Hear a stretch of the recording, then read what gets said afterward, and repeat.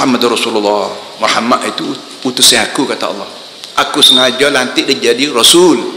Dia daripada Nabi Adam sampai ke Nabi Nuh terus ke Nabi Musa Nabi Isa Nabi Muhammad ini Rasulullah.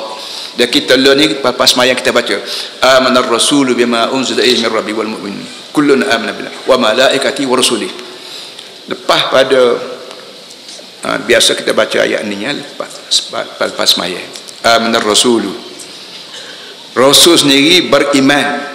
Bima ilaihi min rabbi sebanyak mana ayat tu dari langit orang yang pertama beriman ialah rasul sendiri. Wal mu'minun. Dan juga orang mukmin. Dia tak kata dia tak kata orang Melayu wiun tak.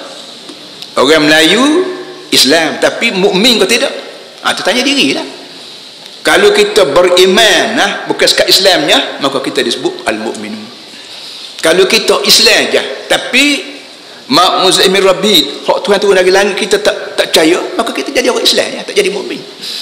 Yang akhirat kelak masuk syurga ialah muslim yang mukmin. Hak muslim saja tidak mukmin tak masuk syurga akhirat kelak. Sebab tu dalam Quran ada sebut semua dalam Quran dari awal sampai ke akhir? Hanya ada ya ayyuhallazina aman. Tak ada ya ayyuhallazina aslamu. Tak ada. Ya ayyuhallazina amanu. Hei orang-orang mukmin Melayu mukmin, Arab mukmin, Inggris mukmin, Amerika mukmin, Afrika mukmin. Hei orang mukmin. Karena orang mukmin saja orang layak cakap dengan Allah Taala. Dan Allah Taala layak cakap dengan manusia, manusia mukmin je. Tidak manusia Melayu saja, dak Melayu yang muslim yang mukmin. Jangan main kan. Walladzina amanu walladzina ma'ahu asyidda'ul kuffar rahama'u bainahum. Pertama Muhammad Rasulullah Ni kalau kita ayat ni Muhammad Rasulullah ni kita panggil kak kenalan lah. Muhammad Rasulullah ni kita panggil pasport kak kenalan. Kalau kita disekap polis tengah jalan, cek kita kak. Nah kak ni kita bisa cukup. Melayu kau kita ni, Thailand kau kita ni, apa Vietnam kau kita ni, nah kak ni. Kita boleh kenal, polis boleh kenal oh dia ni orang daripada Cina, orang ni daripada India, orang ni Inggeris, orang ni itu kenapa kak. Lalu ada kak my kak apa ni kak bistari ke berapa tahu berlaku hutan banyak mana dia bank berapa apa perkali berapa semua ada berlaku lekat kita lihat ini begitu juga Muhammad Rasulullah ni kak kenal Muhammad ini bukan sebagai orang ni Rasulullah. Ni bodoh aku tu yang kata. Rasul mana? Orang suhai Allah sekali dia panggil Rasulullah sekali dia panggil Abdullah. Subhanalladzi asra bi'abdi lailan waktu Nabi kita Muhammad dibawa naik ke langit dia sebut subhanalladzi asra bi'abdihi dia tidak sebut asra bi Muhammad. Sebut aku naik hamba aku budak aku ke langit sebab tu lah ni orang Kelantan ni lah satu benda orang Kelantan ni yang dipanggil hamba kecil hamba. Hamba nak pergi hamba nak tu hamba nak hamba. Boleh jadi perkataan hamba ni apa ni serapan daripada perkataan abdu Abdullah hamba Allah. Abdul Rahman hamba Tuhan Rahman. Abdul Wadud Abdul Aziz Abdul Mustaqim. Abdu ni mana hamba jadi oleh kerana Kelantan ni dia asuh dengan agama, maka orang Kelantan boleh bercakap pun bercakap ambo. Dia, dia tak kata saya, saya ni sekat mari sekolah ya. Kata ambo. Lelon ni apa ambo kecil ambo sedap nak. Kalau ambo boleh kecil sebut ambo, pasal puas hati. Sebut saya saya ni eh berasa tak no, berasa tak. saya ambo. Ambo ni pak cara kita orang Kelantan ni apa nama ni duduk terdidik dengan ajaran agama. Hamba ikut suruh gapo muka kawan hamba. Dia tu pun hamba juga tak apalah hamba pergi. Ha, tak apalah hamba terima kasih. Jadi perkataan hamba ni hamba fikirnya serapan daripada ajaran agama yang mengajar manusia supaya berhamba pada Allah. Jadi bila kita sebut hamba macam kita ni hamba Tuhan. Pada tu? Hamba Tuhan. Tak juga kena kawan. Juga kita hamba Tuhan dia hamba Tuhan juga. Baik dia mau polis baik dia mau SB baik dia mau apa hamba belaka ya. Sama-sama masuk kubur belaka. Asyidda anul kufar tegas dengan gulung kufar ruhama'u bainahum apa kesian belas sama sendiri. Ruhama'u bainahum. Kesian belas sama sendiri. Ajaran Nabi Muhammad supaya kita sama-sama Islam. Sama Islam. Sama umat Nabi Muhammad ni kesian belah Melayu kamu Cina kamu India kamu asal kamu ni Muslim maka kita mesti rahim ruhama kesian belah dia nak siapa umat kita wajib kita jamu dia wajib kita layan dia wajib kita sepenuh hajat dia kita panggil baik. Nabi kata bila tetamu datang rumahmu maka wajib atamu ra'i padan-padan dengan kebolehanmu. Hak patut pergi makan hak patut jamu nasi jamu nasi hak patut jamu teh jamu teh kita Kelantan jam hari tu pergi ke rumah kak ambil kat siri spiok siri spiok ni ada orang Kelantan hormat tetamu dia. Siri spiok lepas tu ikat ayam bawa rumah kiok kiok kiok ayam. Kenapa jam orang datang orang datang. Ini ada jam hari tu dia mudah-mudahan kekal terus menerus.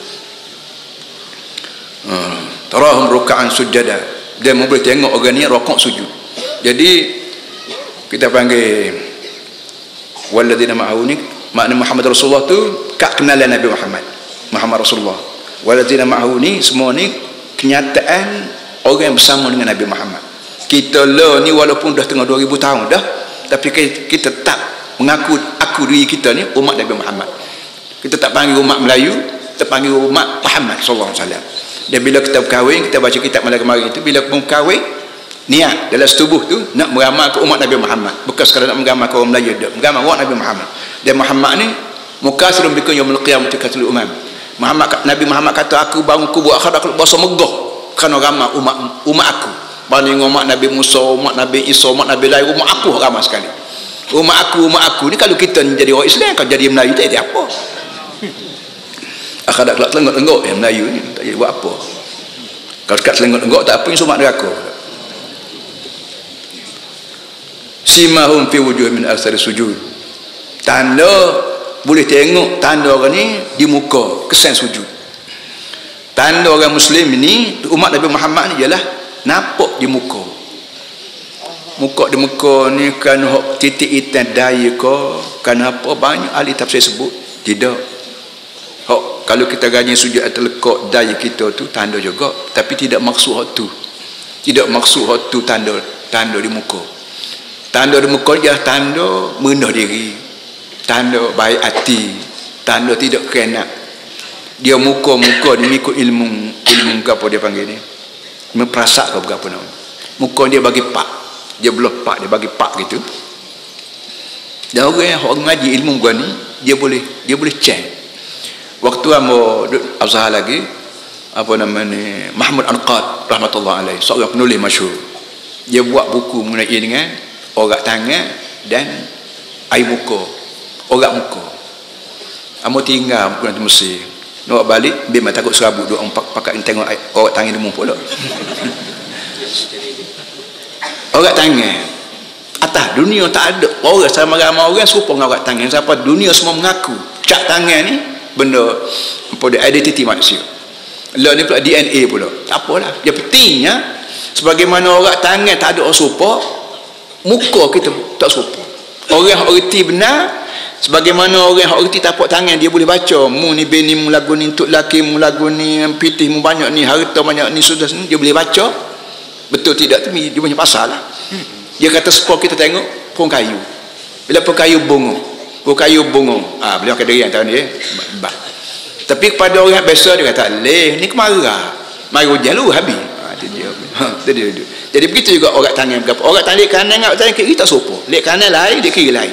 Hak lek kiri ni hak asas. Hak lek kanan ni dia bubuh sama kan hak ni jom pegang cok lah pegang cereng ke bubuh sama lek kanan lek kiri ni tak. Sekadar mau baca. Tak setanya bola bola panggil. Tengok tanya ambo tu. Nyakit pula. Ada kata muka ni leceh orang yang orang yang benar-benar takwa pada Allah kita boleh cari muka dia. Kalau kita ni pasal pecam kita boleh cari dia ni tak menipu orang ni. Kerana yang muka ni muka ni. Dan Nabi kita Muhammad SAW di antara orang yang pandai baca baca muka orang. Kita banyak dalam hadis. Kita dalam hadis sebut sahabat-sahabat Nabi tanya Rasulullah dua tiga orang apa ni tanya soalan yang pertama. Soalan yang sama tapi jawapan lain. Ayul amal afdal ya Rasulullah? Ayul amal afdal ya Rasulullah? Mana amal terbaik? Sahabat seorang sahabat Nabi tanya amalan mana terbaik? Nabi kata birrul walidain. Buat baik ke mak pak so mari orang lain pun tanya waktu juga. Dia jawab lagi mana? As-salatu li awaqtiha. Semaya awal waktu. Tak serupa jawab tadi. Mari orang lain tanya waktu juga jawab lagu lain pula dia kata al-jar fi sabilillah perang sabi Allah orang lain ni ahli tafsir ahli hadis tanya kenapa jadi begini jawabnya kerana Nabi ni pandai baca muka orang Kau bahasa ni bahasa berlaku mopok ni. Ha. Amalan yang terbaik sekali mu ni pak mopok. Kau bahasa ni bahasa berlaku. Ha. Amalan yang terbaik orang tu gepreh. Menakut sangat.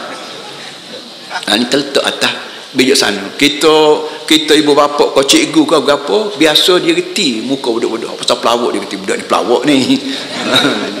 Dia reti baca. Cikgu-cikgu hak bahasa tua sikit hak lama-lama duk main dengan budak-budak kecil dia boleh baca kadang orang politik kita juga ambo tahu. Minta sedekah berapa. Ah, dia ni cat dadah ni minta piti aku ni. Ada piti beli rokok. Tak ada piti minta aku menatang hmm. kadang-kadang minta piti yang baca baca betul baca betul Hmm, lari nyok-nyok lari cuba. Oh, dadah ni.